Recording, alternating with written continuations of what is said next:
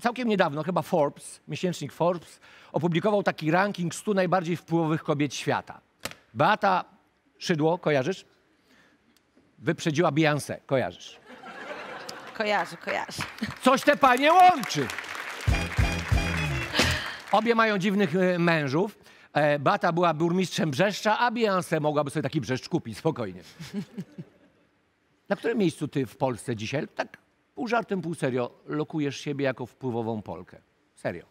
Pół żartem. Serio, serio? Serio, serio, Przede serio. wszystkim nie, to, co, to, co robię, to ja nie robię dla rankingów i jakby nie, nie, nie rozpatruję tego w tej kwestii. Dla ambi ambicjonalnie podchodząc do tematu powiedziałabym... To są twoje książki z ostatniego tygodnia. No to dla, nie mów, dla, że... dla ambicji powiedziałabym oby wyżej, ale, ale zawodowo ważne, że, żebym działała, tak? Nie, nie, nie robię nic dla rankingów, to, to nie o to chodzi. Ale to nie chodzi o to, bo ja też nie robię tego dla splendoru i popularności pieniędzy. One przychodzą same. To jest trochę to jest taki podatek VAT od fajnej roboty.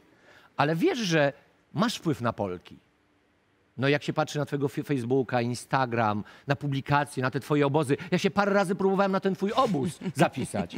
14 minut, rekord teraz. 14 minut. No ja akurat byłem w 16 minucie. Drogo trochę, ale pomyślałem, dobra, znamy się, może dostanę rabat. Adekwatny do jakości. Naprawdę? 3000 złotych?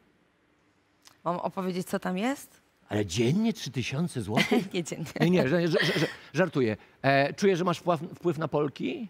Jeżeli jest to dobry wpływ, y, mam nadzieję, że mam, bo, bo staram się uświadamiać ludzi, tak, do, do... Czy, czy ty masz chrypę? Czy ty tak... Tak, i chciałam o tym powiedzieć, że ostatnim razem również miałam chrypę. Ale co ty robisz przed programem, Ania? No właśnie, przed twoim programem się stresowałam. Tak serio, ostatnim razem byłam po mistrzostwach, a tym razem, Przed mistrzostwami. a tym razem w sobotę prowadziłam zajęcia i, i A to nie masz tam godziny... nagłośnienia? Wiesz co, ja bardzo dużo emocji wydaję, kiedy prowadzę takie zajęcia, także... Czyli mówisz, wyżej noga, suko! Zapłacone! Masz ćwiczyć! Prowadziłam z dziećmi też.